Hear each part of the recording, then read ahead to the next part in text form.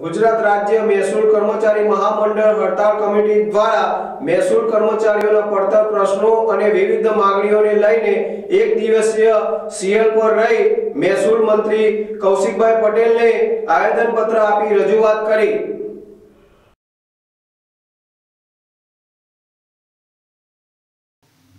ગુજરાત રાજ્ય મહેસૂલ કર્મચારીઓની પડતર માંગણીઓ અને વિવિધ પ્રશ્નોને લઈને મહેસૂલ કર્મચારીઓ દ્વારા તારીખ આઠ ત્રણ બે હજાર ઓગણીસને શુક્રવારના રોજ પ્રાંતિજ ઈડર, રાજપીપળા, તાપી, બોટાદ, જામનગર સહિતના રાજ્યભરના મહેસૂલ વિભાગના કર્મચારીઓ દ્વારા એક દિવસની માસ સીએલ ઉપર રહીને ગાંધીનગર ખાતે જઈને ગુજરાત રાજ્યના મહેસૂલ મંત્રી કૌશિકભાઈ પટેલને આવેદનપત્ર આપીને રજૂઆત કરી.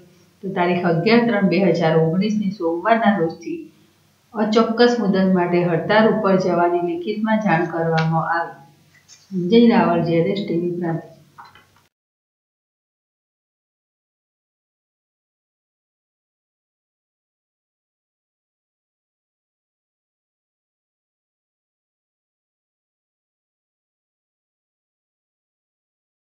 ના ચેરમેન અધિકારીઓ ગઈકાલે મને મળ્યા હતા. અમારા વિભાગના અધિકારીઓ પણ હાજર હતા.